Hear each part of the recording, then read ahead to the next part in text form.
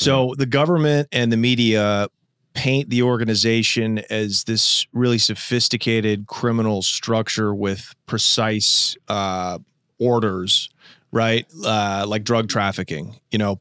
But in your estimation, are there any official orders from the top, like in a chapter, for example, that's that sit down and say, okay, what do you what are you guys into? The way the mob sits down and says, okay, you're into a sports book or loan sharking Right. or or extortion. No, that that's not happening in the Hell's Angels. And you know, there are particular individuals that involve themselves. I'll give you a, a perfect example. Example. There was a, a crew of guys up in the Bay Area. Uh, Kenny Owens, uh, Chico. Uh, I can't think of his. We used to call him Chico Minestrone. He was an Italian guy, and that was his kind of nickname. Uh, uh, Jim Jim Brandes. I don't know if you ever heard of Jim Jim Brandes. Mm-mm. Really, Jim Jim. uh, really ruthless guy, and uh, those were the guys that controlled the meth market. Mm. Probably for uh, you know a good percentage in the United States. Right. You know, and uh, they all got busted in the late '80s. You know. Uh, Chico went got 40 years. Kenny got 41 years. Uh, uh, during that particular investigation, uh, Sonny got caught up in uh, giving uh, the informant permission to blow some guys up. You know, they had come to me initially and said I was the West Coast chairman at the time, uh, which was a job that really didn't have any official uh, authority. But as I stated earlier, what I found out almost immediately is you have this de facto, uh, uh, you know, position as a leader. People go, well, he's the West Coast chairman. He's you know, he's got to have some power And so they approached you like for permission to blow, go blow these guys up in uh, uh, Kentucky, and it's not because I have you know such a high m- moral values. Uh, uh, my red flags went up, and my first thought was, this guy is asking me permission to go Mhm. blow these guys up that were fighting. You know, he wanted to blow up the outlaws, uh, uh, and you know, my first thought was. You don't need my permission. We're Right. fighting with these guys already. But when you say, okay, like I push back when I hear you say it's a totally decentralized thing, it's Right. it's not a criminal organization, just some members, half of them at Right. least, happen to be criminals. But Right. then you say, well, we're fighting with a rival biker gang. Well, Yeah, but what what does we- fighting entail? It's Well- not on Twitter. Well, but you, You know, know? this is the thing. You didn't ask me what we were fighting about. And what are you fighting about? And how is Okay. how does that fighting occur? And what is what is the fighting? Well, is the it fighting serious. I mean, people dying. Uh, right? Which and- is criminal. So Well, I see it. To me, I see that more as an outlaw type. Uh, uh, in you know, some people may go, "Oh, he's a hypocrite." You know? outlaw law. Yeah, yeah, outside, Outside the the- law. sure. And I consider myself someone that lived outside the law for all those years. Do I live outside the law now?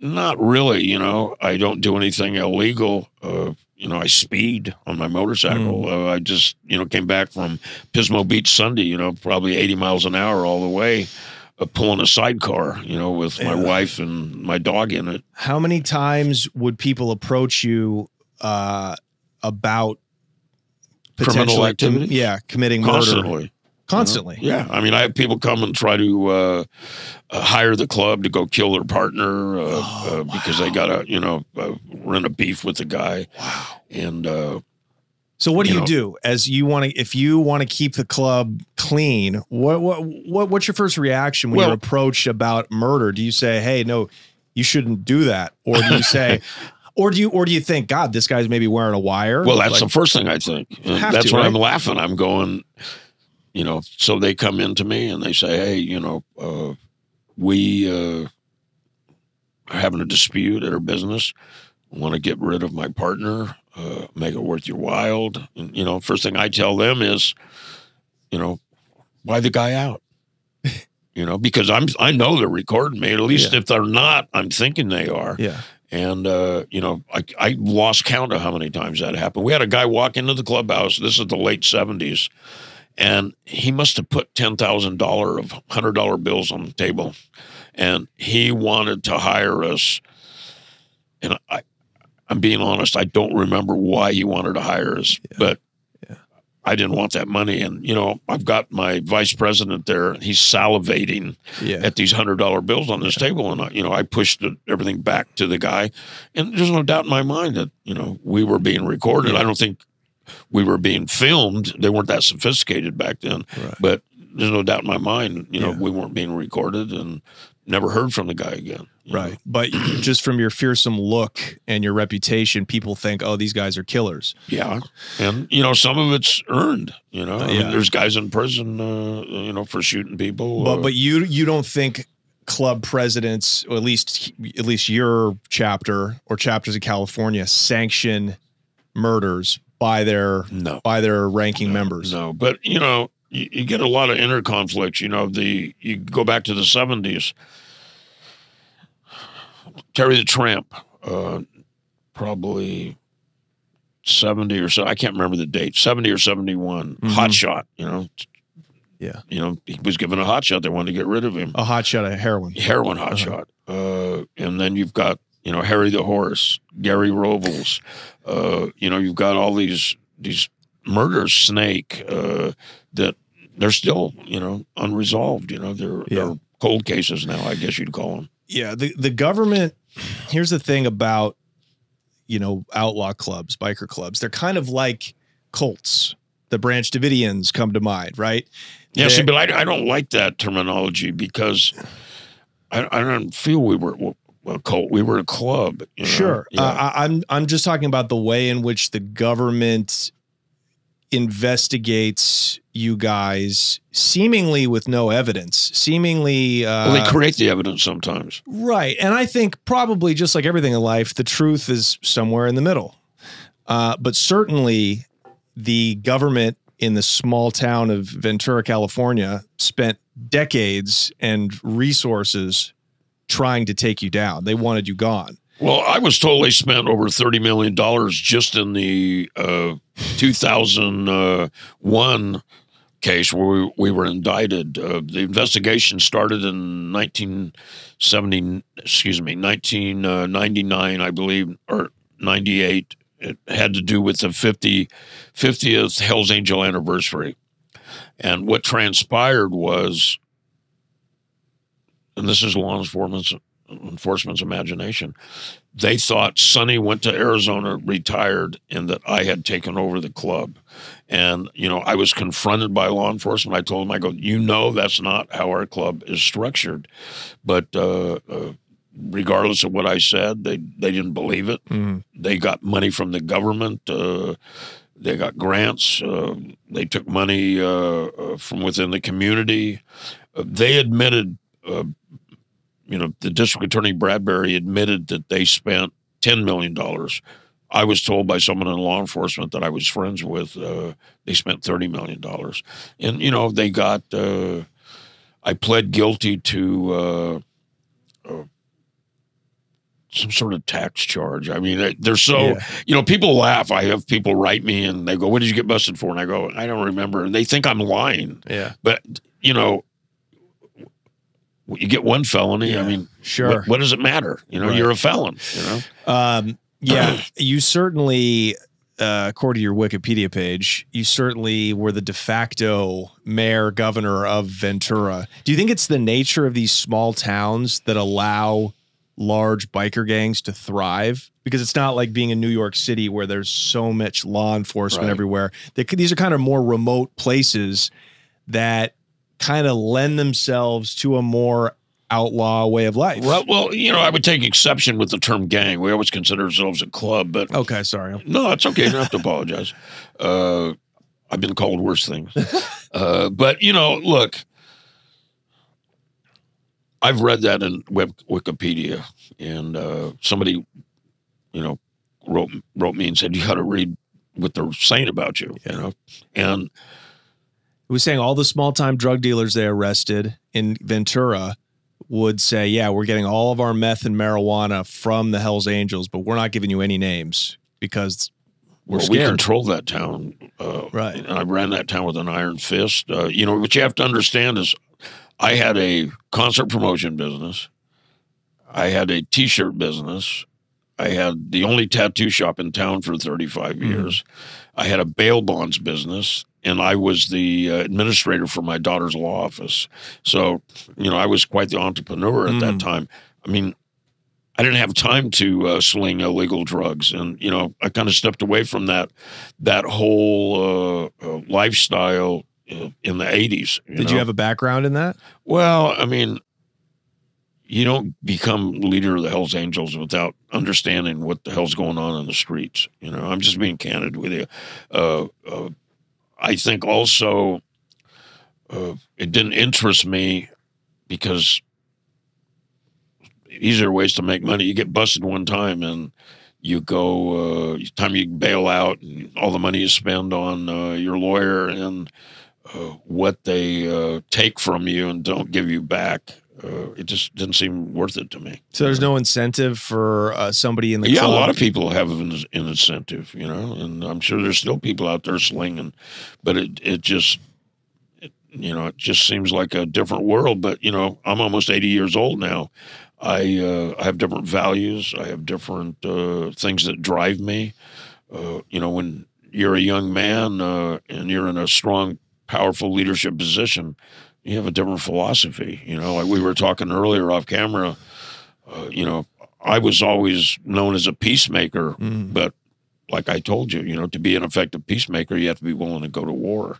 So, you know, did I get my hands dirty? Yeah. So, you so let's talk about going to war. In the 70s, I think it was 77, there were a series of bombings that took place. in Los Angeles. Yeah. yeah, Can you tell us about those? sure. Yeah, there was a, uh, a conflict between uh, Los Angeles Hell's Angels, San Diego Hell's Angels, uh, and a bike club called the Mongols. Mhm. uh, which were kind of a fledgling bike club at the time. Yeah. And uh, actually, now they're very powerful. Sure. And uh, a real force to be reckoned But with. there's always been problems between those. always two. been problems, and I Yeah. believe there always will be problems. And what you have to understand is, you know, cops think it's over drugs and it's this and it's that. It's not. You know, like I stated earlier, and we kind of got off subject uh, about the outlaws, how that war started.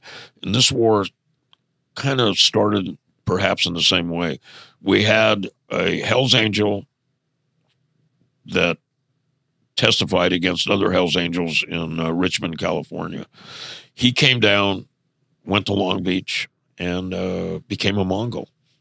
And you know the other guys went the witness protection program. You know he he was hiding in plain sight Wow. and the Mongols were new uh, to that lifestyle, and perhaps they didn't understand the you know the gravity of uh, what he had done.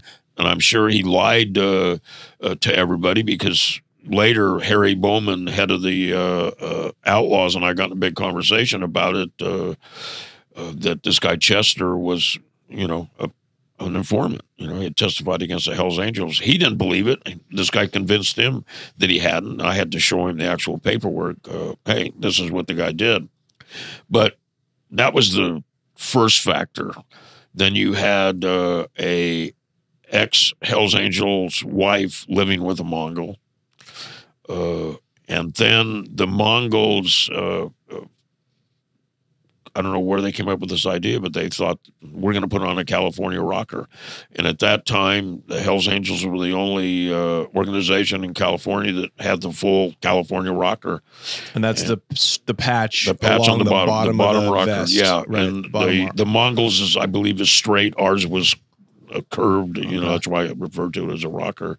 And they put that on there. We had warned them not to do it, but they put that on there. And the last holiday, uh, uh, September, I forget the dates, 1977, uh, uh, Jingles and Redbeard, uh, two Mongols from San Diego, got shot off their bikes.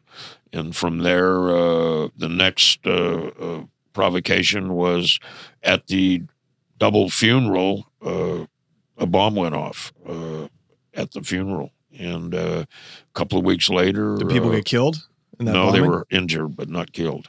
A couple of weeks later, a bomb went off at the Frame Up uh, motorcycle shop, and uh, you know, Mongol died, and his 15 year old cousin uh, standing alongside of him.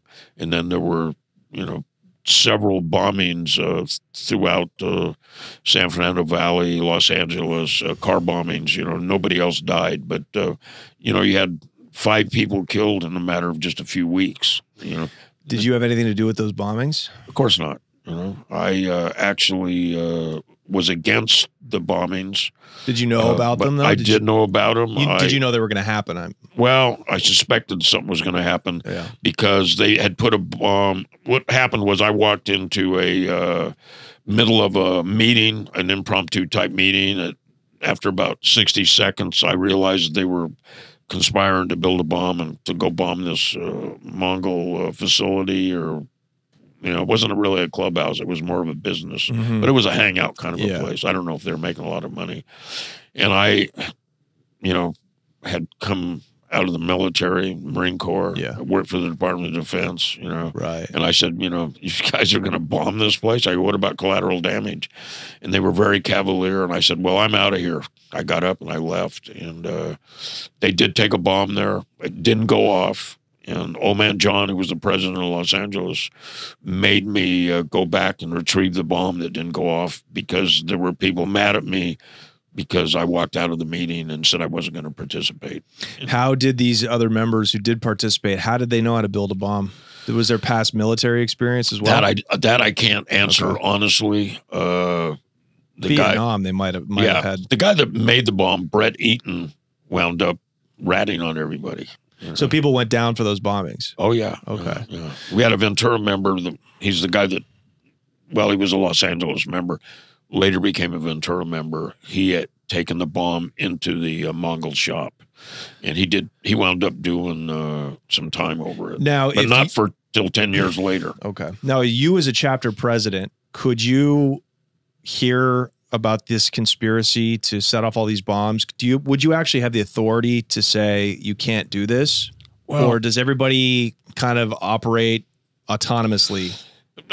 people are, are working autonomously, but you have to understand that uh, you know people don't want to get involved in that stuff. You know, I mean, No, yes, they do. well, They not were me, involved.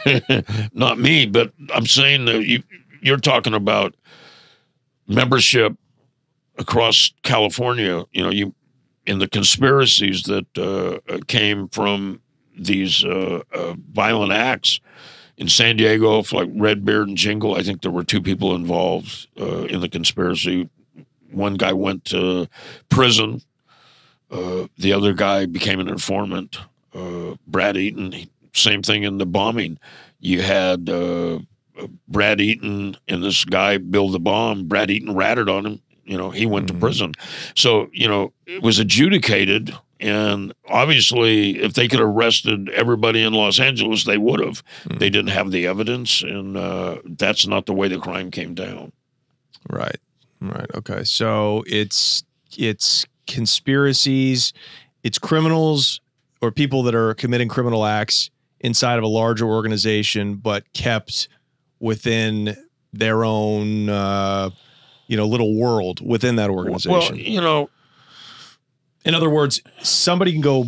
Two members of the Hell's Angels can go blow up a Mongol without uh, like a vote, like the way the mafia has like a council, and they have to get permission to go pull a yeah, hit. people were just running amok. This I is the see. 70s. You know, people were just running amok. Of course. Now, as things progressed in the late 80s, you know, I came, I went into prison, came back, uh, and I had a lot more uh, gravitas, if you will. You know, it, interesting enough, you know, Yeah. you, you're, you know how it is on the street. You know, you go to prison, it gives you some, uh, it gives you street Some cred. juice. Yeah, and I came back and uh, I was being very vocal about ending all these wars. We were fighting the Mongols, we were fighting the outlaws, we were on and off with the banditos, we were fighting the pagans, and uh, ultimately we'd wind up fighting the Vagos, uh, but that wouldn't be you know for 20, 25 years later. So I wanted to end all these uh, uh, conflicts and. Uh, how I really started doing it is I used jail as a, uh, a platform uh, to, you know, petition people. In jail, outlaw bike clubs don't fight. Mm. You could be in there with a Mongol who you're fighting with on the Right. street. You could be in there with an outlaw who you're fighting with on the street, a pagan, a bandito, a vago, but you don't fight with them in jail, Mm. you know, and you share the yard with them Yeah. and uh, that was when I came back and proposed to everybody. I go, why are we fighting on the street when we're not fighting in prison? I go, we've Mhm. got everything we want here on the street. We got, you know, everything you can imagine. What what what is some of that?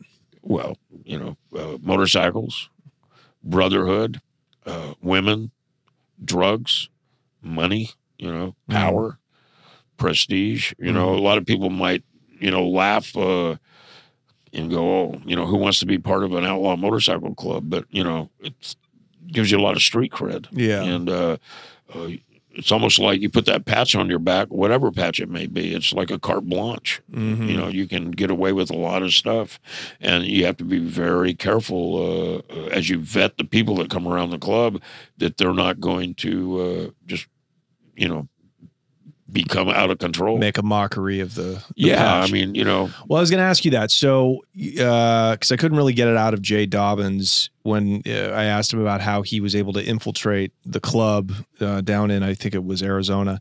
But when you're, we've got a prospect, Right. I hang around, and then a prospect who's trying to get patched in. Is there any kind of requirement of a criminal act for them to then get their stripes, get their patch? Again, the way in the mafia, you need to be Right. you need to show that you're a good earner right. on the street the- illegally, and then maybe even go kill somebody to Well, get become made. the club's how not does- structured like that. Okay, so know? what And would a, it's what about would a member? it- it's focuses around motorcycles and brotherhood. I mean, that's initially, you know, what it was all about. You, you know how the club started, correct? No, you guys watched the movie Easy Rider. I No, that's- come on. That's a, you know that's a pretty that's a pretty good uh, uh, uh, answer, but no, kidding. it's not correct. Uh, Dennis Hopper told me how to do it. yeah, yeah, yeah. Uh, no, uh, you had returning vets from the Pacific Theater, World War from II. the European Theater in Mhm. World War II, and they came back and probably displaced, suffered from undiagnosed PTSD, and uh, they started these little bike clubs. You know, you had the Booze Fighters, uh, you had the Galloping Goose, Mhm. you had the Thirteen Rebels, uh, you had the POBOBs. That was the you know pissed off bastards from wherever they were from. yeah, San Yeah. Bernardino. Yeah, and you know the Hell's Angels sprung from that. Right. So that was the birth of the uh, Outlaw Bike Club, and it had nothing to do with uh, illegal uh, activity, uh, narcotic sales. Uh, had to do with Fraternity. yeah, it was a fraternity. These guys had this brotherhood. They came back to uh, just about nothing. Yeah, Look, you come back from prison. What's it like? You start over. yeah. And some guys don't make it hmm and uh, uh, I don't know. Uh, you know, speaking for myself, you know, I've been in prison three times. I've came back three times and uh, reinvented myself, and it hasn't been easy. You know, Mhm. each time it's a struggle. You know? So, do you think your generation adopted this uh, ideology of uh, being free and separate from what was then like square middle class? Sure, yeah. Norms. and, and, you know, I I think It seems uh, like freedom is the big driver. I, I you guys like your freedom absolutely and And- identity. and you know the Mhm. motorcycle represents uh, uh, freedom. You know, I did a uh, interview uh, which I was totally shocked. Harley Davidson, a motorcycle company, invited me to be part of a uh, documentary back in the mid '80s, and uh, you know that was one of the things. You know, the interviewer said. Uh, uh, isn't motorcycles a symbol of authority? And you know, I said, no, it's a symbol of rebellion to me. Right, right. That's that's what it always meant to me. Right. The first time I saw an outlaw biker was probably in 1955. Mm-hmm. Uh, you know, I was standing on a street corner with my father, maybe nine, ten years old, Mhm. and you know, it just had outlaw all over it. Mhm. You know, Yeah. and uh, metaphorically, man, I jumped on that bike. You know, when Yeah. that guy went through that signal, and it took me ten years uh, to get.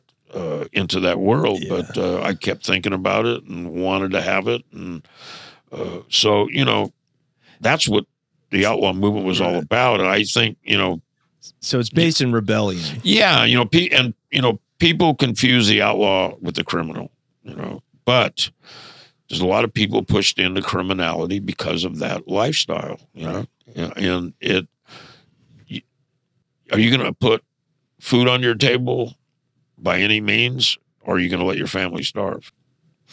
Yeah, well, I think it shouldn't be a big surprise looking back that a club and a culture based off of being an outlaw, which is just by definition criminal, right? If it's Right. outside the law, and rebellion, that is going to attract people, even if it's not a, an explicitly criminal organization, it's going to attract people that make their living through criminality because it's hard to be a lawyer Monday through Friday and then go ride with the brothers Well, Saturday, you know, Sunday. you know, we used to call them in the '80s. Weekend Warriors? No, we would call them rubs, rich urban bikers, and uh, you know, uh, Yeah. uh, I did I have a problem with the rubs? No, uh, you know, it was a big highway. There's lanes going up and there's lanes going Right. down, and uh, you know, there's plenty of room for everybody, but not everybody can become an outlaw, a real outlaw. So then how, if it's not a criminal organization, and I say this with all due respect, I just this is what makes for good podcasting. It's my job to well, I, I expect you to uh, uh, come after me a little bit. if it's not a criminal organization, then shouldn't what are the characteristics that you look for in a a prospect to become a patched in member? If it's not the ability to earn criminally or potentially carry out criminal acts. Well, you know, what kind of guy, motorcycles a guy riding? Is this guy a stand up dude? Can he hold his mud? I mean, these are 60s uh, expressions, you know, Yeah. and, you know, we used to ride up to Bass Lake, and that was the place where you kind of worked out all your differences. And, uh, uh, you know, at the end of the weekend, whoever uh, was left standing by the fire is someone we referred to as a regular. You know, Yeah. uh, hey, the guy's a regular.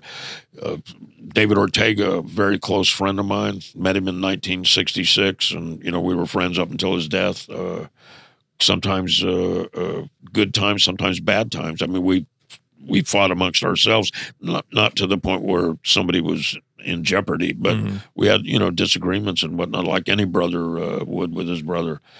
But uh, uh, at the end of that weekend, you know, uh, that was a term he came up with. You know, the guy's a regular. You know, Yeah. what do you think of that guy? Well, he's a regular. You know, we had another guy that came around the club. He was an informant, and I picked him out. I said, I know this guy's no good, and he turned out to be no good. And uh, you know, I went to David. I always used to defer to David a lot. I said, you know, I go, David, what do you think of this guy? He goes, I don't know, man. I don't like him. And I said, What do you think it is? And we could never put our finger on it. Mm. And what David came up with, he goes, You know what it is, man? He goes, I just don't like the way he parts his hair. You know, Right. and the guy was a rat. You know, he was working for the FBI. He put sent Sonny to prison, uh, busted Irish. Irish got murdered before he went to prison, uh, busted uh, all these guys up in the Bay Area who I'd mentioned earlier, uh, you know, Chico and. Uh, Mm. Uh, you know the rest of that whole you know crank crew those guys were cooking crank Mhm, up there. Mhm. and uh, you know you talked about it, it is it spread around? No those guys knew how to cook crank and they wouldn't share that uh, recipe with anybody. You know they were in control. You know they had that little cartel that they were running and uh, uh, you know and you know i had mentioned jim jim earlier like you know jim jim uh, was ruthless you Mhm. know and uh, So, so obviously, there's different outfits, different uh, chapters. Obviously, have different levels of criminals in them, right? So, an Oakland chapter or a Richmond chapter that's got meth cooks that are making millions of dollars a year. I assume that's going to be a better funded chapter. Am I correct in that, or Well, what are the uh, look, dues that you have to pay the, into the, club? The you know you pay weekly dues, whatever the the set uh, dues are. When I first came around the club, it was you know five bucks a week. You know when I left, it was uh, uh, you know over. $150 a week or whatever. The Mhm. cost of living, though, had gone up as well. But, you know, look, the record speaks for itself. You know, you can speculate all day long. These guys are doing this and these guys are doing that. Uh, you know, you talk to Jay Dobyns, uh, uh, you know, I got no axe to grind with Jay, but you know he was an ATF guy, and you know it's funny because they talk about us drinking the Kool Aid. I mean, he drank the Kool Aid. Mm. You know, he believed that the Hells, and he does believe that the Hells Angels is a criminal organization. You know, and like I say, it's not. It's an organization with criminals in it, and whether good or bad or indifferent, uh, it is what it is. I know? think we might even be splitting hairs. Because say I have a household, right? right. Uh, there's ten people in the household. Okay. It's a big Mexican household. Kidding. but it's uh, and only he said that, not me. Yeah, of Everybody- course. uh, I'll take the heat. So, household of 10 people, only two people in the house are getting abused. Would you call that an abusive household? Or would you call it a household that has abusive people in it? It's a household with abusive people in it. But Come on, you knew what I was going to say. right, right, right. I feel like I'm the DA right now, and I'm, I'm Well, I feel like on I'm on a witness stand, you know, but I, I took six days on the stand. You know, I took the witness stand my own defense. yeah. We're gonna talk about that. We're gonna talk about that. So I'm getting ahead of myself. Right? yeah. Okay, So- I usually am. So are you telling me that there's no that whatever uh, a guy brings in off the street, if he's a member of a chapter, that money isn't getting kicked upstairs to a boss to It's a never, it's never been proven, and I don't think it's taking place. Now, if somebody wants to throw some money into the club treasury, right. you know, I don't think anybody's going to question. Uh, wait a minute, where's that money coming from? oh, no one's going to ask. You're right. I mean, I'm being honest. No, I, I you know. believe you. people are not going to ask. But But you wouldn't have a meth cook toss you an envelope of cash when you were. let me tell you something. Like Tony And Soprano. I, I, no, and I I got this stuff that can substantiate what I'm saying and back up what I'm saying. Tony Tait is an FBI informant. He comes into the meeting and he brings it up in the meeting. He we've got 12, 13 Hells Angel presidents from the West Coast in there. He comes in there and he goes, I want to blow up the outlaws. I mean, that's a conspiracy. That's a crazy thing to say. I would exactly. I and would kick him out. Now, do you have the authority as president to be like, "You're give me your give me your patch. Well, you're done." Like well, you can't you can't just no, do that. you can't. You can't do that. But let me tell you what I did do. He's sitting next to me, and aside from having that cavalier statement and you know trying to draw people into conversation, he has a cast on, Hmm. and I'm sitting here. He's sitting next to me. The cast is right there. There's a bug in the cast. So they have me on tape saying, "Hey, you know what? I have no interest in escalating this problem with the." Yeah. Uh, and I'm choosing, and I'll be honest with you, I'm choosing my words very carefully, Mm-hmm. and I'm thinking this tape's going to wind up in a courtroom someday, Right. and indeed it did. You Mhm. know, and uh, so I confront him.